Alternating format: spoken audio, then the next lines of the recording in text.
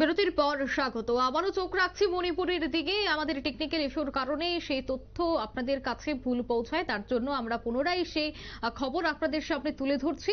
মণিপুর এখনও কিন্তু পুরোপুরিভাবে শান্ত হয়নি। তারই মধ্যে অভিযোগ, এবার রাইফেল লুটের অভিযোগ উঠল খোদ পুলিশ কর্মীদের বিরুদ্ধে। অশান্ত মণিপুর থেকে গ্রেফতার চার পুলিশ কর্মী, বিধায়ক থেকে কেন রাইফেল লুট করল অভিযুক্ত পুলিশ কর্মীরা? প্রশ্ন কিন্তু উঠতে শুরু করেছে। বিস্তারিত জানব, টেলিফোন লাইনে রয়েছে নিউজ ভ্যানগার্ড প্রতিনিধি শতাব্দী দেবনাথ। শতাব্দী, অশান্ত মণিপুর থেকে গ্রেফতার, চার পুলিশ কর্মী। কি কারণেই তারা বিধায়কের থেকে সেই রাইফেল লুট করল? কি জানা গেছে সে বিষয়ে? দেখো অঙ্কিতা, মণিপুরে একটি বিষয় বলতে, মণিপুর কথা বলতে গেলে একটি বিষয় বলতে হয় যে সেখানে শান্তি চুক্তি হয়েছে। আমরা গত দু হাজার তেইশ সালে যে ছবি দেখেছিলাম, এক প্রকার উত্তপ্ত হয়েছিল দুই গোষ্ঠীর সংঘর্ষে।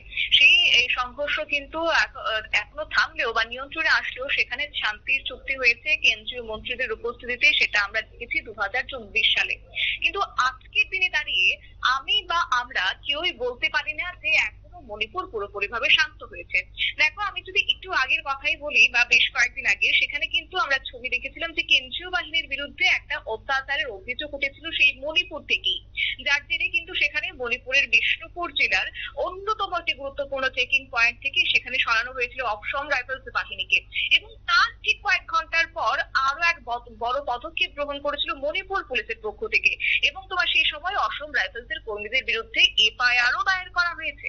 অন্যদিকে তুমি যদি ইম্ফলের কথাই বলো, ইম্ফল পূর্ব এবং পূর্ব পশ্চিম জেলায় কিন্তু কারফিউ শিথিল করা হয়েছিল সেই সময়টাতে। প্রয়োজনীয় যা যা খাদ্য সামগ্রী দরকার, ঔষধ সরবরাহের জন্য সেখানে কারফিউ শিথিল করা হয়েছিল। আর তার, এবং সেক্ষেত্রে আমরা যদিও খবর পেয়েছিলাম যে মণিপুর পুলিশ সূত্রে যেটা জানা গিয়েছিল যে মণিপুর বিষ্ণুপুর জেলার মইরাং লামখাই চেক পয়েন্ট থেকে অসম রাইফেলস বাহিনীকে সরানোর ব্যাপারে সেখানে রাজ্য পুলিশের তরফ থেকে নির্দেশিকা জারি করা হয়েছে এবং মণিপুর পুলিশের অতিরিক্ত ডিসিপি নির্দেশিকায় জানিয়েছেন যে বিষ্ণুপুর কংভাই রোডে চেকিং পয়েন্টে নয় অসম রাইফেলসের জায়গায় আসবে সিআরপিএফ নির্দেশিকা জারির সঙ্গে সঙ্গে এই নির্দেশ কার্যকর হবে। অর্থাৎ সেই সময়টাতে দাঁড়িয়ে কিন্তু মণিপুর পুলিশ প্রশাসন বা মণিপুরের পুলিশ আধিকারিকদের একটা গুরুত্বপূর্ণ ভূমিকা ছিল সেই সময়টাতে। এবং যখন কেন্দ্রীয় বাহিনীর বিরুদ্ধে অভিযোগ উঠেছে, রীতিমতো এবার তার ঠিক উচ্চ চিত্র এবার লক্ষ্য করা যাচ্ছে।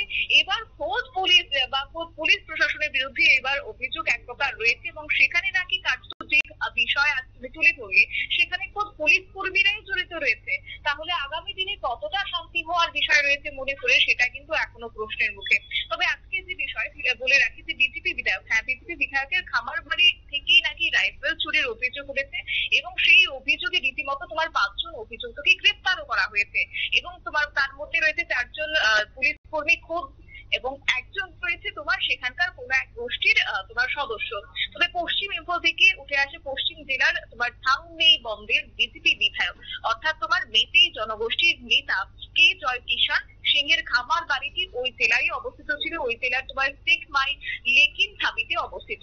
গত বছর থেকে শুরু হওয়ার গোষ্ঠী হিংসার আজ লেগেছে সেই এলাকাটিতেও। সে এবং তারই পরিপ্রেক্ষিতে কার্যত আজ এই খামার বাড়ি রক্ষায় যেখানে মোতায়েন করা হয়েছে, স্থানীয় তোমার গ্রাম রক্ষী বাহিনীকে সেখানেই কার্যত মঙ্গলবার রাতের যে ছবি সেখানে আচমকায় হামলা চালানো হয়েছে দুষ্কৃতীদের পক্ষ থেকে। একাংশ ক্ষেত্রে লক্ষ্য করা গেছিল ভাঙচুর এবং বিভিন্ন বিষয়, বিভিন্ন ছবি উঠে এসেছে। অর্থাৎ এক প্রকার বলতে গেলে বলা যায় পুনরায় মণিপুরকে উত্তপ্ত করার চেষ্টা। এবং গ্রামরক্ষী বাহিনীর সদস্যদের পরাস্ত করে কার্যত খামার বাড়িতে ঢুকে নাকি তিনটি রাইফেল এবং শুধুমাত্র রাইফেলই নয়, সেখানে আশি রাউন্ড গুলি সহ বিভিন্ন মূল্যবান যা জিনিসপত্র ছিল, সেই জিনিসপত্র লুট করেছে। এক প্রকার দুষ্কৃতির ভূমিকায় অবতীর্ণ হয়েছে পুলিশ কর্মীরা। এবং তোমার তদন্তের সূত্র ধরে তার পুলিশ কর্মী সহ পাঁচজনকে চিহ্নিত করা হয়েছে ইতিমধ্যে এবং তাদের বিরুদ্ধে আগামী দিনে একটা পদক্ষেপ যে গ্রহণ করবে মণিপুর পুলিশ প্রশাসন, সেটা আর বলে, বলার অপেক্ষা রাখে না। তবে আপাতত বৃহস্পতিবার তাদের গ্রেপ্তার করেছে পুলিশ এবং ধৃতরা বিশেষ গোষ্ঠী, জনগোষ্ঠীর সদস্য বলে একটা চিহ্নিত করা হয়েছে। এবং তোমার গোষ্ঠী হিংসা পর্বে কার্যত ব্যবহারের উদ্দেশ্যে, অর্থাৎ তোমার গোষ্ঠী হিংসায় আরও একবার উত্তপ্ত করার জন্য একটু উস্কে দেওয়া এবার কাজে লাগে মত্ত হয়েছেন তোমার পুলিশ কর্মীরা এবং সেখানে অস্ত্র লুট করা হয়েছে বলে তদন্তকারীদের পক্ষ থেকে জানানো জানা গেছে। অর্থাৎ বিজেপি হ্যাজেড বাড়ি থেকেই রাইফেল লুট করেছেন মণিপুর পুলিশ কর্মী এবং এখন কিন্তু তাদেরকে ইতিমধ্যেই সতর্ক একদিকে যখন সতর্ক করে দেওয়া হয়েছে এবং অন্যদিকে কিন্তু তাদের কে আপাতত কিন্তু তোমার তারা যে দায়িত্বে রয়েছেন সেই দায়িত্ব থেকে এখনও তাদেরকে সরানো হয় কিনা বা কি কি পদক্ষেপ গ্রহণ করবে মণিপুর পুলিশ প্রশাসন, সেটা অবশ্য লক্ষণীয় বিষয়। অঙ্কিরা। একদমই। ধন্যবাদ শতাব্দী। অর্থাৎ ইতিমধ্যেই যে চারজনকে গ্রেফতার করা হয়েছে, তাদের থেকে জোর জিজ্ঞাসাবাদ চালানো হচ্ছে যে কি কারণেই তারা সেই রাইফেল লুট করেছিল, এর নেপথ্যে কি কারণ থাকতে পারে এবং তাদের বিরুদ্ধে কি পদক্ষেপ গ্রহণ করা হয়, তার দিকেও যথেষ্ট নজর থাকছে। নিয়ে নিচ্ছে ছোট্ট একটি বিজ্ঞাপন, বিরতি, সঙ্গে থাকুন।